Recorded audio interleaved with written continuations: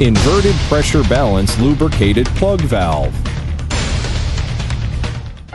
Welco Valve Company plug valve which is applicable to cut and connection the pipeline medium in various industries. The nominal pressure from class 150 to 1500.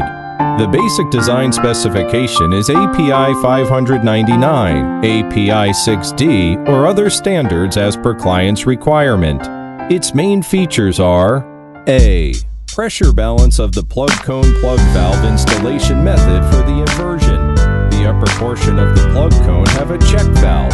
The valve is closed because the plug cone area is poor. The injection of high pressure oil seal to plug body uplifting force make the plug body and valve sealing surface can better sealing.